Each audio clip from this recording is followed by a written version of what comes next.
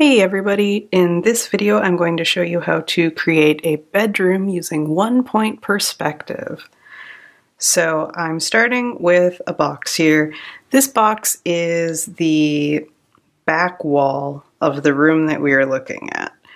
Um, it can be any size, it can be in any placement on the page. Um, I'm just choosing to kind of put it in the middle so I have room for everything. Um, but just depending on your point of view that you're drawing, it could be bigger, smaller, or anywhere else. Um, the next thing I'm going to do is connect the corners here to kind of form a really light X. And that's going to help me kind of find the center of this wall. So that center right there is going to be our vanishing point. Your vanishing point does not have to be in the center of your square, um, but it's just kind of a generic way of doing it.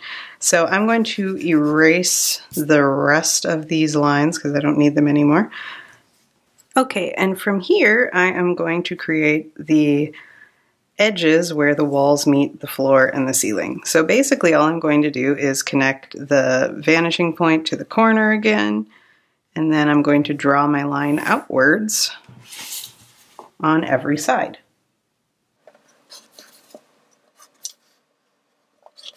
So notice how I didn't draw the lines back on the center. Um, that's because obviously the corners where the ceiling meets the wall is going to end on this wall anyway. So we have that point where the three come together everywhere. And that is basically just going to stay empty except for whatever's on that wall. All right, so now that we have the walls in place, we are going to start adding things to our room. Um, so first of all, we could start with a bed. So maybe we'll have the bed up against this back wall here so it's coming out towards us. And what I'm going to do first is just maybe start with a headboard or something and that is going to be up against the wall. So if our bed, say, is starting right here, like this is our mattress, and that's the thickness of the mattress, I'm just going to start right there as kind of an estimate. And then from here, I'm going to draw my headboard going upwards, and you know, whatever kind of headboard you want to make.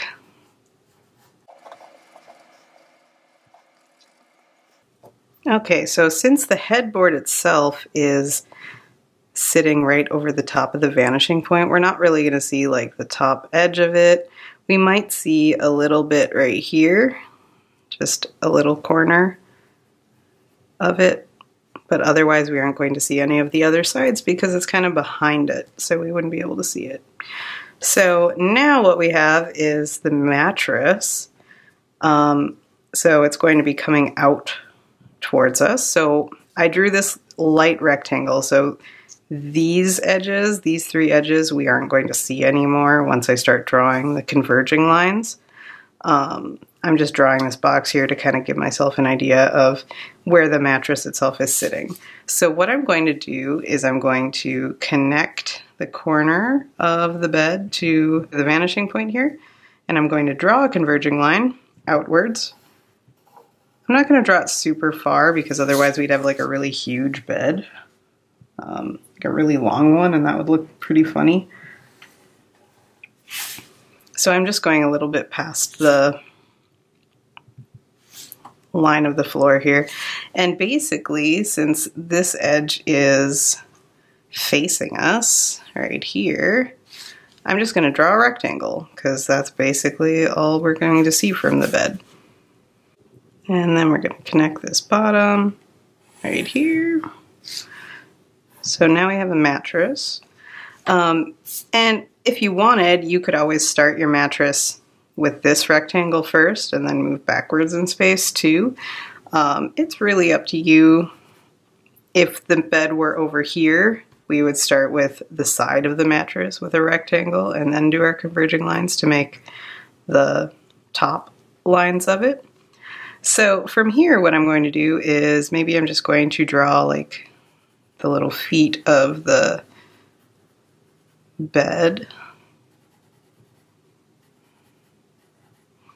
And then we can add in pillows and blankets and any other stuff that we want to add on there. So the pillows themselves aren't really going to be in perspective.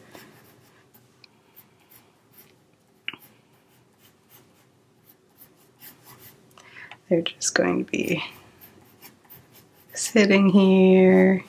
And then if we give a little volume and softness to the bed, it's going to give it more of kind of a feel like there's a blanket sitting on it. Because if there is a blanket on it, it's going to not be quite so hard. There's going to be some volume to it. So now that I've drawn that in, I can go in and kind of erase some of these harder lines.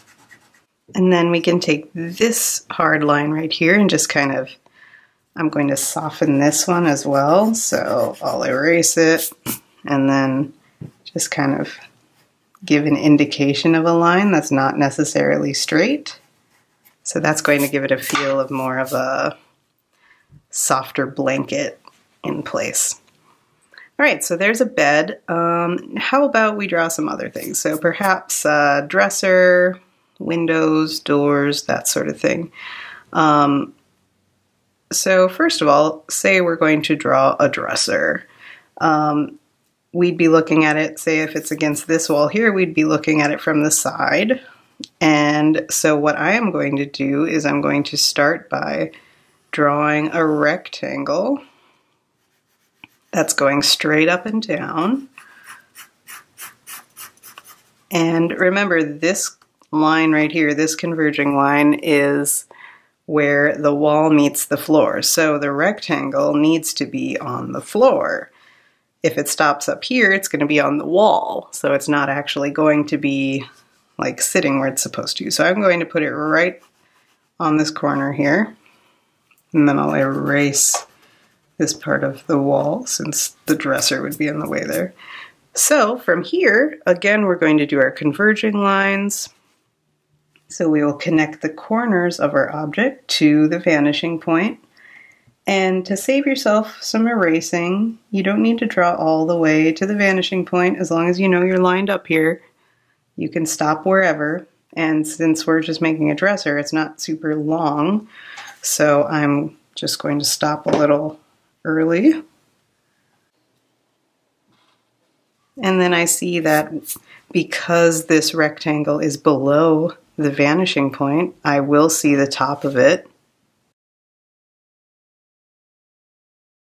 And then from here, we're going to create our parallel lines to create the side of the dresser. So I'm going to start by lining up my ruler with the edge of this and I'm going to slide it straight back. So I want to be careful not to tip it sideways because our brain wants us to turn our ruler like it says, oh, it's going at this angle, but it's really not. It's actually straight up and down.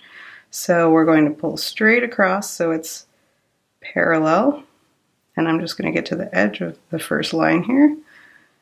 And I will draw my side of my dresser. And I can erase this line here. From here, we're going to create the top of the dresser and the back edge. So again, I'm going to line my ruler up with this edge and slide it straight back. So again, careful not to tip. Go straight up and down. This should be perfectly horizontal and we will create our edge there. So now we have kind of the basis of a dresser, a really simple one. I think I might give it some feet or a little more interest here. So the bottoms of the feet here are actually going to be converging lines as well. Just something to be aware of. All right, so from here, now we can make the drawers of the dresser. And so the sides of it are going to be vertical. They'll be parallel to these sides. and then the tops and bottoms of each drawer will be a converging line. So I'm going to start by just making a few sets of parallel lines here to indicate the top or the sides of drawers. All right, so now I have just an indication here, and from this point I can connect the top and bottom lines to my vanishing point.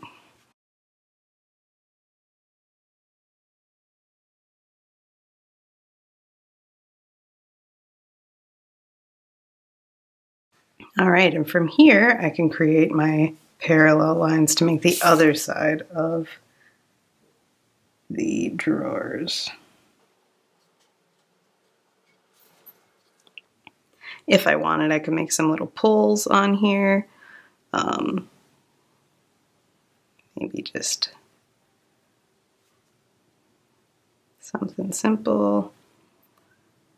So the tops of these would be converging lines as well. Let's start with our window. Perhaps I think what I'll do is indicate the height of the window first by drawing just the back side of it. And from here, I will create a couple converging lines. So I meet up at the vanishing point and draw outwards to create the width of the window. And then to create the other side, we just need to stay parallel. I made this a little bit bigger, so I'll just connect those. All right, so right now we just have a flat space. So, you know, if we had a poster or a painting on the wall, it would look like that. But a window has some extra stuff on there. So perhaps we have like the window trim that we need to add. So from here, I'm just going to add on a little bit around the window. And we know that the window trim has some thickness to it. So basically I'm going to create just a really small little rectangle right here because we would see that flat side straight on just like we saw the dresser. So now it's sticking out of the wall. We also know that the windows tend to kind of sit inwards. There's usually a window sill. So if we look at, say, this dresser here, the top sides are horizontal.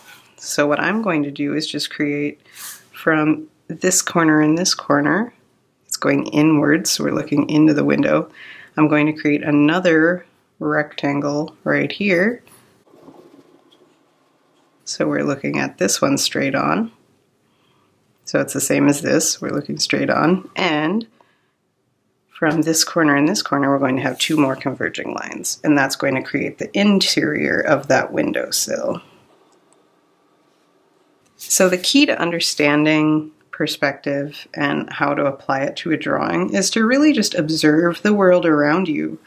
So like look at your own bedroom. What what edges and sort of like directional lines do you see happening in your own room? Um, so now we need to draw kind of the window pane itself. Maybe we could do a fancy window with multiple panes. So the one thing we're noticing is that anything that is coming towards us in space is going to be a converging line, and anything that's facing us in space is going to be just a rectangle. Um, and the more that you really just look at the spaces that you intend to draw, the more you're going to start seeing it that way. So the key to perspective is really just learning how to see and how to kind of perceive the spaces that you're in and, and kind of apply the skills that you're learning to your eyes. So it's not just a drawing thing, it's a looking thing. So the majority of learning how to draw is really just learning how to see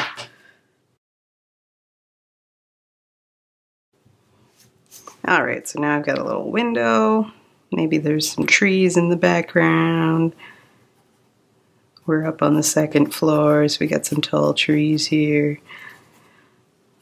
I'll pretend like there's still leaves on the tree right now. Oh, that's nice. Okay, um, how about on the other side of our room we create a door. So we got to get into our bedroom somehow. So let's do that. Um, so the same way we made the window, we are going to create the door frame first by drawing our parallel line indicating the back. Then we'll have a converging line to create the top of the door. And from here, we're going to make another parallel line, so directly vertical, going straight up and down. So there's the basic door frame. Now, if we wanted to have the door being opened at all, um, that's going to kind of change how things look. I think before I draw the door, I'm going to draw um, the trim around the door. So remember the edge of it that's facing us is going to be just a simple rectangle.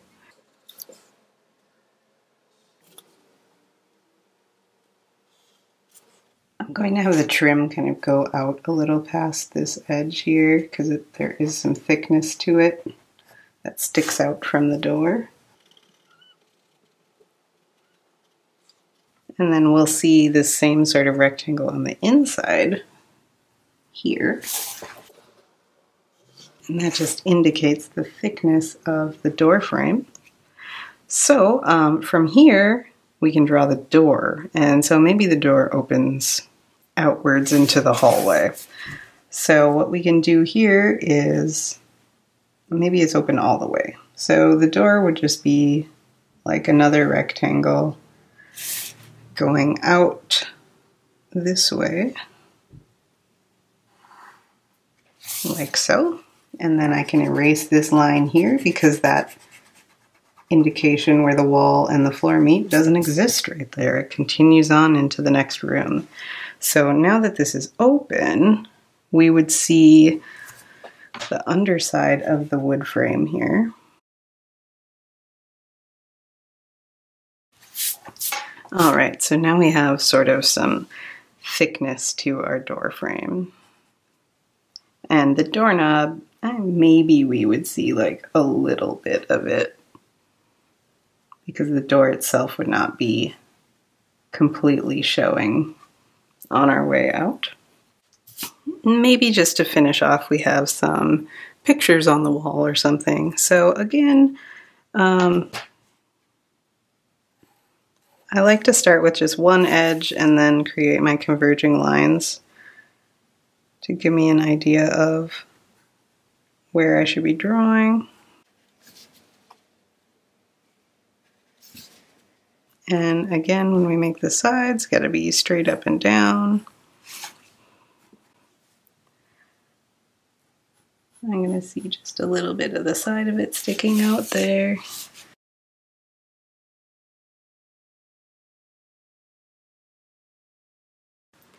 All right, I think from here I'm just going to speed some things up and then just add little details to make this a little more lived in, if you will. But stay tuned and thanks for watching.